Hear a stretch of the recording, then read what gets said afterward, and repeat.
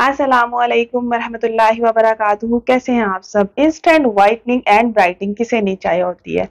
सर्दियाँ आ रही हैं स्किन रुखी हो जाएगी ड्राई हो जाएगी, बेजान हो जाएगी, शादियों का सीज़न आ रहा है और आप लोगों ने बहुत पार्लर्स में जाके महँगे महँगे फेशियल्स करवाने हैं इंस्टेंट वाइटिंग ट्रीटमेंट करवाने हैं, लेकिन अगर आप लोग ओकेजन से कोई एक हफ़्ता पहले इस रेमेडी का इस्तेमाल शुरू कर देंगे, हर दो दिन बाद वीक में तीन बार यूज़ कर सकते हैं।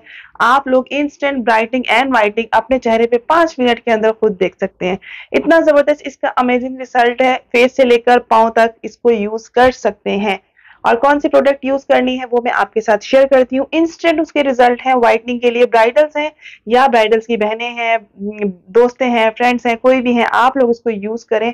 लेकिन इसके बनाने का थोड़ा सा मेथड डिफरेंट है। उसकी टेक्निक को आपने समझना है कि हम लोगों ने फॉर्मूला तैयार कैसे करना है। तो चलिए, मेरी वो सब बहनें जो instant whitening just five minute के अंदर चाहती हैं, चलो स्टार्ट करते हैं। बिस्मिल्लाहिर्रहमानिर्रहीम ये मैंने ले लिया है यहाँ पर क्लिनजर जो कि है डर्माकॉस का। बहुत ज़बरदस्त अमेजिंग काम करता है। लेकिन हम लोग इसको किस तरीके से बनाएँगे, किस तरीके से इसका फॉर्मूला रेडी करेंगे, तब जाके हमें ये इंस्टेंट रिज़ल्ट देगा। तो यहाँ पर पैकेजिंग जो है वो ओपन करके दिखा रही हूँ आपको। जिस कलर का इसका थोड़ा सा ना मट्टी कलर का इसका जो है वो कलर है। और यहाँ पर मैं आपको एक बात बता दूँ, जो भी आप चीज़ यूज़ करते हैं ना, जिस तरह की पैकेजिंग होती है, आप लोग उसी पैकेजिंग को बरकरार रखा करो।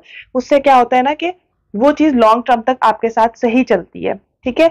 इसकी लिट के ऊपर इस तरह से कवर है, एक छोटी सी स्टिक होती है जिसकी वजह से आप जो है ना, वो उसका अंदर से क्रीम वगैरह इजिली निकाल सकते हैं हाइजेनिक हो जाता है फिर।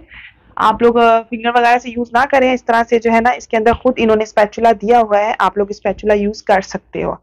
तो ये बहुत ज़बरदस्त है, और भी बहुत सारी रेमेडीज हैं, लेकिन अब क्योंकि शादियों का सीज़न है तो बड़ी मज़े मज़े की रेमेडीज आपके लिए लेकर आती रहूँगी। तो मैंने यहाँ पर, यहाँ पे आप स्क्रीनशॉट ले सकते हो। मैंने यहाँ पर जो है क्लिंजर ले लिया है, जिसको हम डीप क्लिंजिंग के तौर पर जो है ना, वो यूज़ करने लगे हैं। तो ये मैंने आपको दिखा दिया स्क्रीनशॉट लेना चाहते हो, आप लोग स्क्रीनशॉट ले लें। तो यहाँ पर मैं सबसे पहले इसकी क्वांटिटी बताऊँगी कि हमें कितना एक फेस के लिए चाहिए, ठीक है? मैं आपको इसको हाथों में यूज़ करके रिज़ल्ट के साथ आपको दिखाऊँगी, लेकिन आप लोग इसको फेस पे भी यूज़ कर सकते हैं। एंड ट्रस्ट में पाँच मिनट के अंदर इसका रिज़ल्ट होता है। तो यहाँ पर सिर्फ़ इतनी सी क्वांटिटी स्पैचुला का जो है ना, बिल्कुल थोड़ा सा ये जो वन फोर्थ टी स्पून जो है ना, उससे थोड़ा सा ज़्यादा है, बस इतना सा आपने लेना है। वन फेस के लिए इनफ होगा। ठीक है, इतना सा लेके मैंने यहाँ पर बाउल में जो है ना छोटी सी कटोरी में इसको डाल लिया हुआ है। उसके बाद अगेन हमने उसकी पैकेजिंग को वैसे ही क्लोज करना है ताकि वो हाइजेनिक जो है ना रहे, वो खराब ना हो। उसके बाद जो है हमने क्या करना है, स्पैचुला वॉश करके मैं अगेन उसके अंदर रख दूँगी। उसके बाद क्योंकि सर्दियाँ आ रही है ना, स्किन ड्राई हो जाती है, उसके लिए यहाँ पर बेबी लोशन का यूज़ बेबी ऑयल का यूज़ किया है। अच्छा आप लोग इसके अंदर बेबी लोशन जो है ना, इस रेमेडी के बाद लगा सकते हैं, लेकिन बेबी लोशन का यूज़ नहीं करना है बेबी ऑयल का यूज़ करना है। हाँ अगर आपके पास बेबी ऑयल नहीं है तो आप लोग आलमंड ऑयल भी यूज़ कर सकते हैं। इसके अंदर मैंने यहाँ पर तकरीबन 10 टू 11 ड्रॉप्स जो है ना, मैंने इसके ऐड कर दिए हैं। उसके बाद स्किन को शाइन देने के लिए हम यहाँ पर यूज़ कर रहे हैं स्किन शाइनर मेरे पास डॉक्टर डर्मा का है आप लोग किसी भी कंपनी का, किसी भी कंपनी का मेरे पास बहुत सारे हैं, जो भी कंपनी ले लें, सबका अच्छा रिज़ल्ट है। तो यहाँ पर मैंने यहाँ पर स्किन शाइनर ले लिया है, वो यहाँ पर हाफ़ टी स्पून तक इसके अंदर ऐड होगा, ठीक है? ये रेमेडी आप लोग बना के रख नहीं सकते। ये फॉरन बनानी है, फॉरन यूज़ करनी है। बड़े बड़े पोलर्स में इंस्टेंट वाइटनिंग के लिए जब आप लोग प्लकिंग वगैरह करवाने जाते हैं ना जस्ट जो थोड़ा सा आपकी क्लिनजिंग की जाती है, वो इस रेमेडी के ज़रिए की जाती है। उसके बाद हमने यहाँ पर एक बहुत ज़बरदस्त सीक्रेट पाउडर इस्तेमाल कर रही हूँ, जो कि है ब्लीच पाउडर किसी भी कंपनी का आप लोगों ने ब्लीच पाउडर ले लेना, और आपने लेना है दो चुटकी पाउडर ठीक है?